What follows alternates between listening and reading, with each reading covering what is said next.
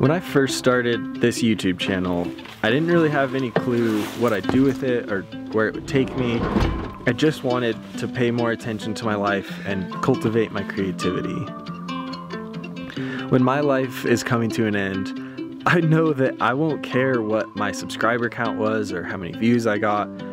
All that will matter are the memories throughout the journey regardless of how hard times were.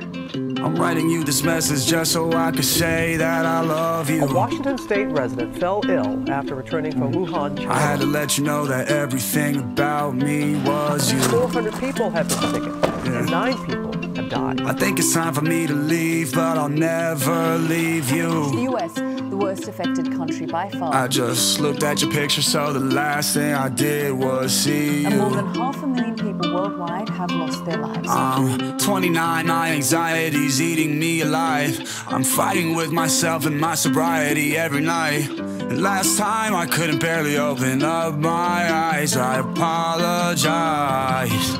I'm not gonna lie and tell you it's alright. It's alright. You're gonna cry and baby, that's alright. It's alright. I wrote you this song to keep when I'm gone If you ever feel alone You're gonna cry and baby that's alright It's alright I hope you get to go to all the places that I showed you When I was on the road and couldn't be home to hold you Part of me doesn't want this cruel world to know you.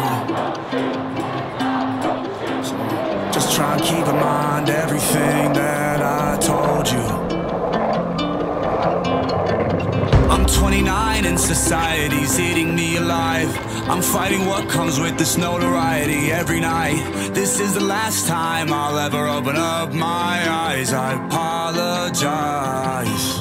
I'm not gonna lie and tell you it's alright, it's alright You're gonna cry and baby that's alright, it's alright I wrote you this song to keep when I'm gone If you ever feel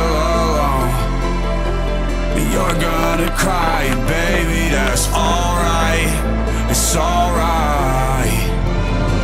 And I miss you. I miss you, I miss you, I miss you, yeah, and I miss you, I miss you,